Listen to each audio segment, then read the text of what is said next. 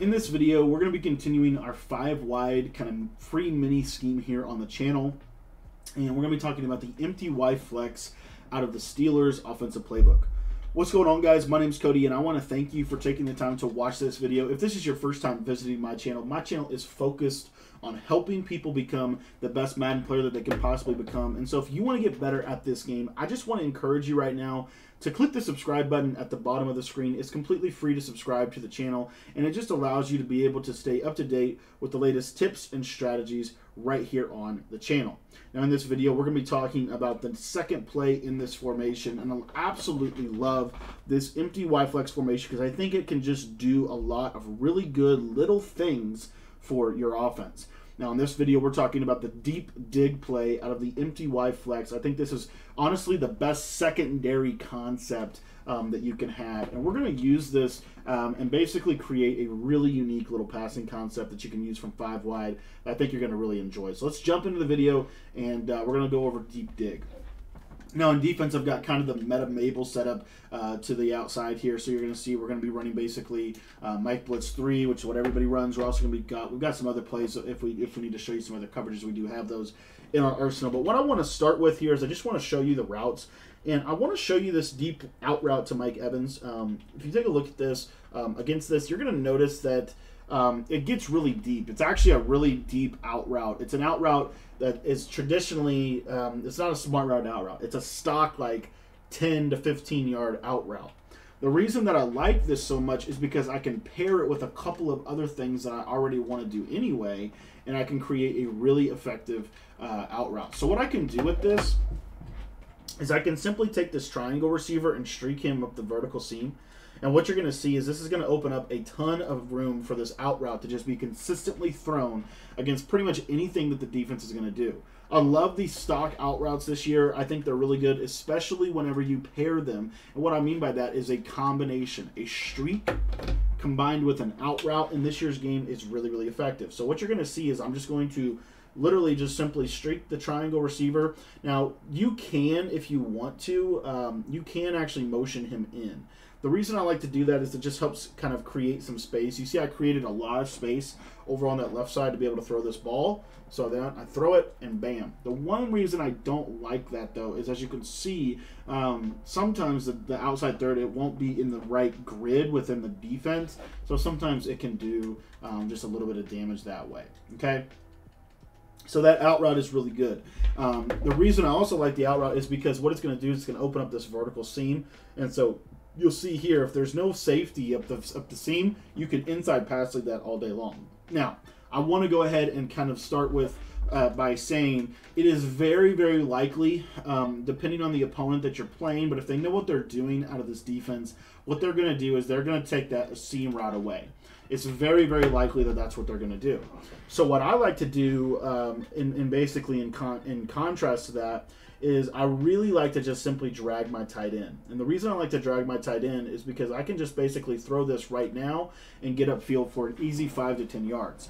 The other reason why I like this so much is it is it basically is going to hold the curl flat zone down because the the out route doesn't break for a while. The out route doesn't break for a long time within this play. And so we really are going to force their user to have to stay on this left side of the field, which is what we want because we have a three by a, a three wide receiver set to the the backside. So if you watch this out route on this play, you're going to see that curl flat. See how he kind of gets sucked into the middle? That's huge for this offense. Absolutely huge. Let me just show you uh, what I'm talking about in this re- instant replay, just so that you can get kind of an idea of what's going on. So um, you see this guy right here is in a purple zone. So he's in a curl flat zone. But watch right here. As soon as the tight end comes into his grid, into his uh, zone grid, which every zone in Madden 21 and every zone in Madden 22 has a specific zone grid or a margin of which they are supposed to cover, and he comes into that into that grid, right? That 10 yard and down grid. So what you see him do is he drifts to the middle, and now look at how wide open this space has been created for this out route. Now, let me show you uh, what this looks like if they use a different type of zone. I'm going to use seam flats. I'm actually going to use seam flats from the outside uh, safety just to kind of show you what that looks like as well.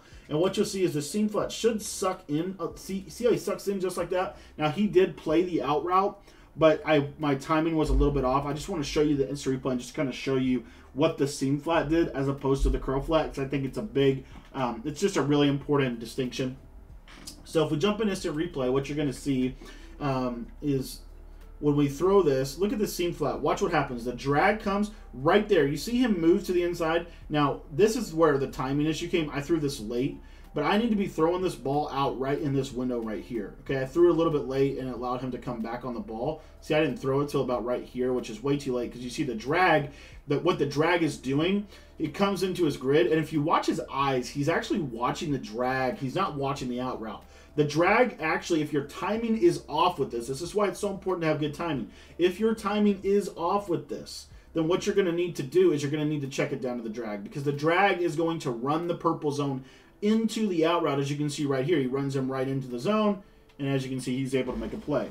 So let me show you. Let me show you that again, and let me get the correct timing on this. Um, and I'm actually going to send a little bit of pressure, just because I want you to see it. So it's going to look basically like this, right there. Um, whoops. Guess I guess I messed up. Maybe he just hit the drag against this. I'm pretty sure. I'm, let me try one more time. But once he sucks in from the drag, that's really where we, we get this opening. Sucks there, and I guess he's going to swat it. So just hit the drag. It's no big deal. Um, you got a high-low between the two of them. The other thing you can do if you want to is you can just simply curl the square receiver. But I really like this out route a lot. Um, so if they have a seam flat on the field, um, from the safety specifically. So let me show you a seam flat now to the linebacker, just so that I can really reiterate. Like there's a, you want to understand that there's a very specific adjustment that they have to do to stop this. It's not just, oh, they just call cover three and they stop it. That's not going to work in this offense. So here, this is a seam flat. See how he sits, see how he sits out there? So if I pass lead that on the cut, I should have um, a decent window to be able to hit it. Seam flats are interesting because seam flats do a little bit better of a job against some of the interior routes. The problem with seam flats is they do a terrible job, uh, in my opinion, with routes to the sideline. And so you'll see right here, it's wide open. Part of this is because linebackers don't jump. And again, if you just want to hit the drag, that's completely fine. Um, and then what you can do off of this, just really quickly, is now this is going to begin to open up the back side of the uh, the back side of the play. So their user has to climb the vertical with triangle to be able to be successful. So now what you've got on the back side of this play is this nice 15 to 20 yard dig route coming and you just basically pass lead that up and as you can see it gets in a really soft spot within the zone coverage. This route's also going to be man coverage as well. Now if they are lackadaisical in their coverage and maybe they're in a cover two.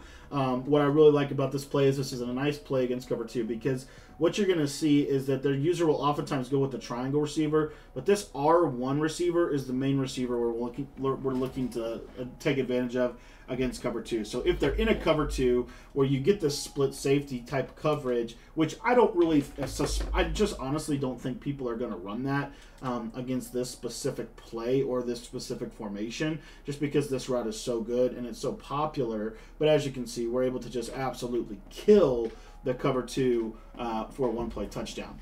The other thing that I really like about this play um, is if you're playing someone that is running a lot of like press, like shaded down man to man, this is a great play for it because if you take a look at Scotty Miller, you're going to notice that he doesn't get pressed out of this. So if they're shading down, you see they're going to take this false step right off the right off the snap, and I can just pass lead inside, and I'm going to absolutely kill the shaded down man to man coverage. So if you're getting some of that, this is also another really good play to go to um, to be able to deal with that situation. Um, so yeah, this is just a really fun play. It's a really successful play, I think. The one thing I would say is cover three um, Mabel. So, and, and, I don't suspect that you'll, I mean, you will get cover three Mabel. I want you to watch this R1 streak. So you see how he kind of angles inside. If I step up, I there's kind of a window to hit it, but it's just not, it's not super, super clean to hit that against the, against that uh, coverage. So that's just something to be aware of.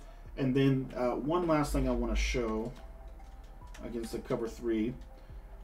And if you want to get the full five wide scheme, just shoot the word uh, or just text me. Uh, my number is 208 218 uh, 6900. Yeah, I couldn't I couldn't get that to work. So no big deal. Just run it as I was talking about it. Uh, and then I didn't show um, like like off man. So shaded down man, you're looking to hit your slot. But the cool part is against off man, uh, off man typically doesn't do too well against this low, like this out route.